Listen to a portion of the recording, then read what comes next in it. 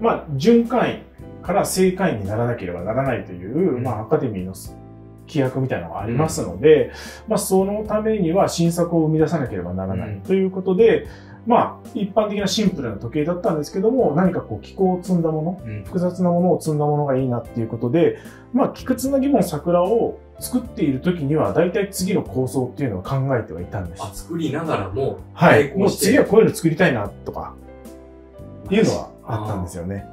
一気に、グレードっていうか、ランクっていうか、その、複雑な内容が上がったよね。なので、これはね、ちょっとやっぱり大変でした。次の最新作のものは。僕ね、牧田先生がよくこういうの作りたいって言ってね、話はね、いろいろ聞聞こえてあ、またあそうですね、はい。だって今までそういうのを作ってなかった。そうですね、時計制作。作自体も、やっぱりそういう土壌はないじゃないですか、うん日本には。で、私もやっぱり最初に作ったのはこれで、うんまあ、これも複雑機構ですけど、じゃあこれが売れるかって言ったら当然売れるような代物ではなくて、まあ、時計っていうのは当然ね、クオリティもそうですし、あと、あと見てくれもそうですし、うん何より大事なのは時計っていうぐらいですから、うん時間がきちっと刻んでなければいけないっていうことで言うと、まあこれはちょっと時間は刻むにはちょっと心もとない制度ですし、そうなってくるとだんだんこうね、やっていく上で技術を学んでいく、向上させていくしかないっていうことで、そこでのオートマタっていう機構を積んだ、この今回の最新作っていうのはかなりチャレンジでもありましたけど、うん。大変でしたね、やっぱり。花のギミックっていうのをやりたかったんですよ。うん。で、その花のギミックっていうのを入れたかったんですけど、じゃあそれをどのように表現するかってなった時に、じゃあまあオートマタ。花っていうとやっぱり開いたり、うん。あの閉じたりっていうのがあるので、まあそれをどのように表現するかなっていうのを考えた時にオートマタうん。にしようっていうのはあったんですよね。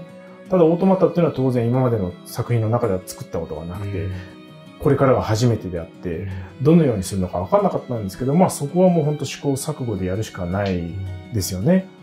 で、花を作ったと同時に、あの、三輪ガラス工芸さんの方の新作ですよね。コップの新作で、あの、鳥の切り子があったので、これだということで。そうなんですよ。そこでまたひらめいて、鳥と花。で、ちょっとムーンフェイズっていうのをやりたかったんですよ。まあ、ムーンフェイズっていうのは月の満ち欠けを表す機構で、で、それの、まあ、よくパーペチュアルムーンフェイズって言われている、まあ、精度がいいものですよね。あの、一般的に売られているものっていうのは、59日ぐらいで一周するものなんですけども、まあ、これは、えっ、と、かなりの高精度。122年に1回ですね。122年に1日だけの誤差っていう、動いている限りは122年に1日の誤差というムーンフェイズを搭載したモデルになります。こちらの方が、あの、歯車が結構見えたりとかするかもしれないですね。その江戸切子がやっぱりガラスなので、そのガラスの鳥ですね。この目白の鳥なんですけども、この目白の鳥居の後ろ側には歯車をちょっと入れて作って、あの、搭載してるって感じですね。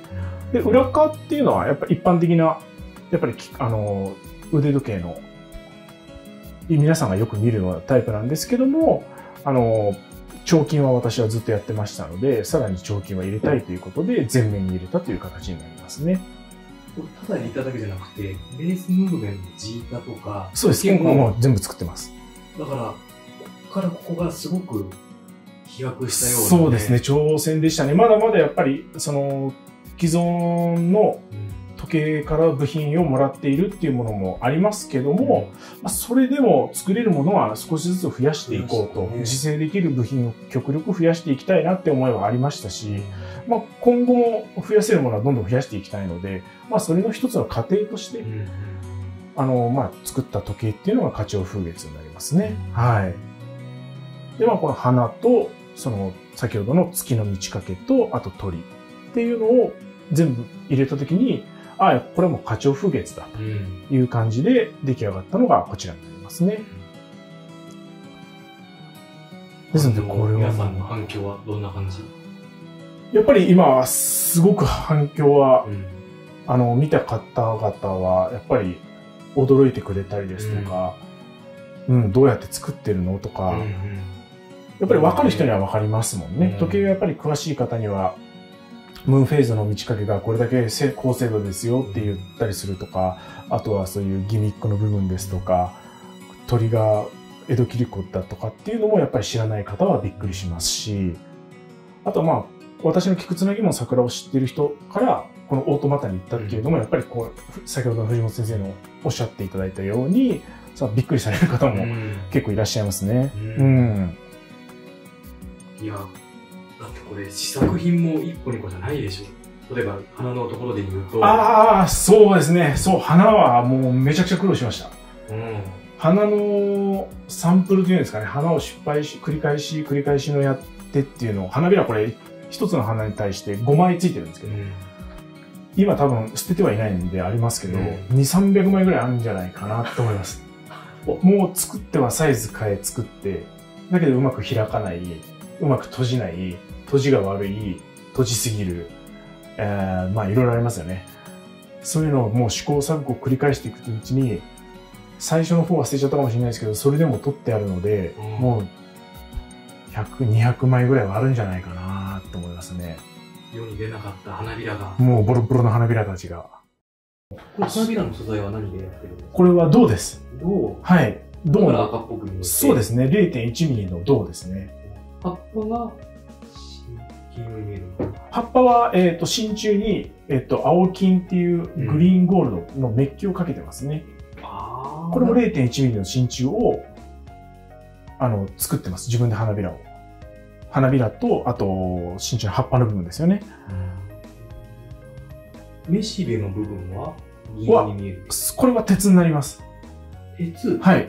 鉄を、まあ、加工、えっ、と、削って、で、芯みたいのを作って、で、その表面っていうのはマット加工してあるので、そうだね。はい鉄に見えるよね。それは、あの、マット加工を施して、あの、ありますね。で葉っぱとかも0.1ミリの真鍮板を毛がいて、切って、で、それを丸めてというか形を作るんですけど、うんまあ、これも最初やろうと思ったのが、その花びらと葉っぱの部分も、あのー日本のかんざしありますよね。女性がここによくつける。あそこのかんざし職人さんの何か動画を見たのがきっかけだったような気がしますね。で、かんざし職人さんが本当にもう一枚のこうなんか葉っぱの形を作って、それをタガネで叩いて、丸みを帯びさせて、うんで、まあ加工して、一つのかんざしを作るんですけど、うんまあ、それを何かこう葉っぱだとか、まあ、それこそ花びらですよね。の丸みをつけるのに何かこうできないかなって思ったのが、結構オートマタに活かせるんじゃないかっていうのもきっかけもその一つになります。この花びらもそうだし、葉っぱのところに筋があるっていうのは、はいやっぱり彫金の技術がそうですでね。はい。葉脈とかもきちっと表現したいなと思いまして、葉脈も全部こちらで作ってますね。はい。接着というか、うん止めてあるところですよね。あれは、そうですね。あの、最初は、レジンうんありますよね。あれを使用してたんですけども、うんまあちょっとやっぱりあんまり、時計の世界であんまレジンって使わないなと思った時に着目したのがシェラック。うん。で、このシェラックって今はまあ、このがね、映像を見てる人はポカーンかもしれないですけども、私たちにとってはすごく馴染みのあるもので、えっ、と、まあ樹脂なんですよね。重機ですよね、あれね。天然樹脂ですね。天然樹脂ですね。うんで、時計では主に使われているところっていうのがつ、えーっと、アンクルの爪石の部分になるんですけども、そこに本当に極小の量が使われていまして、よかったです。あの、今になって思えば、そのシラックにしたことによって、うん。まあ、こっちの勝手な、うん。あの、つなげ方というか、うん。感じなんですけど、まあ、例えば鼻の中にある蜜うん。が、で、シラックもちょっと黄色っぽいんですよね。うんですので、まあ、その黄色っぽさが蜜に見えたりとかして、色艶がぴったりなんはい。よく詳しく見ていると、つゆだくですけど、あ一個一個にそうそうそうそう、一個一個ねつけなきゃいけないんで、うんですので、まあそういうのはありますけど、ちょっと体験させてください。なのでそのシラックで結構花びらとの接合部分っていうのは綺麗についたし、まあそれだったら接着剤あんまりこう使うのを良しとしない時計の中ではいいんじゃないかなというのはありましたね。まあアンクルだけの、アンクルの詰め石だけですもんね。そこぐらいしか活躍する場がないので、はい。いやー、じゃあ、この花鳥風月が今回新作ということで。はい。と世界中の人々に展示して見てもらって、まあ、評価をいただければなという考えです。またその時の感想とかをいずれぜひぜひ。はい。そうですね。その時にまた。はい。はい。取材させてください。はい。はい。あありがとうござい。ます。